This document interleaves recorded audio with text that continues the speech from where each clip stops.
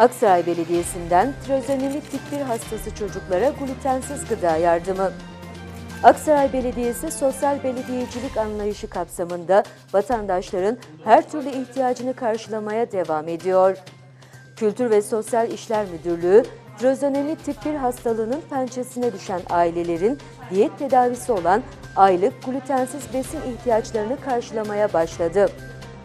Cumhuriyet Mahallesi'nde Ramazan ayında düzenlenen iftar programında Belediye Başkanı Evren Dinçer'e trozonemi tip 1 hastalığına sahip aileler ve çocukları adına kendi çocuklarının da beslenmesinde ihtiyaç duyulan özel besinlere ulaşmada çektikleri zorlukları anlatan ailenin yardım çağrısı karşılık buldu.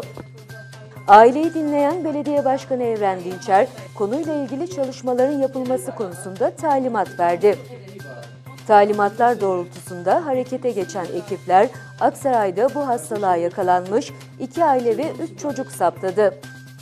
Yapılan çalışmalar sonunda glutensiz beslenmenin yanında düşük proteinli olarak da beslenmek zorunda olan çocuklara aylık besin ihtiyaçları belediye tarafından karşılanmaya başlandı. Belediye Başkanı Evren Dinçer, glutensiz gıda paketleriyle birlikte hastalıkla mücadele eden ailelerden bir tanesini evlerinde ziyaret etti. Aileden hastalık hakkında ve çocuklarının tedavi süreciyle ilgili bilgiler alan Başkan Dinçer, geçmiş olsun dileklerini iletti, çocuklarla yakından ilgilendi.